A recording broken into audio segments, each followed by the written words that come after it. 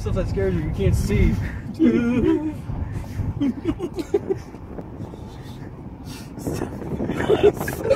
I feel like a little laugh was over. All right, you see no cars are coming. Just fucking go over there. Just go over there. Scared? Yeah. What's the valley? We won't die here. I want to go over. Why wouldn't they? Oh, look at the lake down to the right, Aaron. Why wouldn't they put up a goddamn guardrail? That's the lake we were just at, wasn't it? Yeah. This is where we've seen those cars.